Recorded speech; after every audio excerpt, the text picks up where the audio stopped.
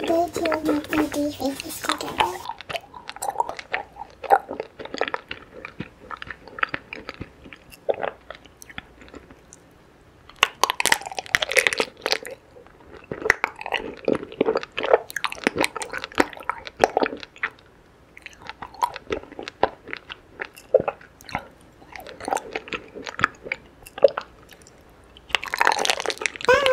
Bye!